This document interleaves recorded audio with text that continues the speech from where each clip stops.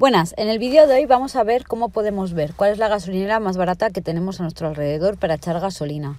Para ello simplemente vamos a la aplicación Google Maps, donde pone buscar aquí ponemos gasolinera y sin poner nada más le damos a buscar y vemos que nos va a hacer una búsqueda en la que se incluye en la parte de abajo de cada gasolinera a cuánto tienen el litro de gasolina sin plomo 95. Si vamos bajando en la mayoría de ellas nos va a incluir el precio. Simplemente tendremos que ir mirando cuál nos queda más cerca y cuál nos compensa más el precio. Bueno, espero que os haya gustado el vídeo. Si es así, no os olvidéis de suscribiros a nuestro canal. Gracias.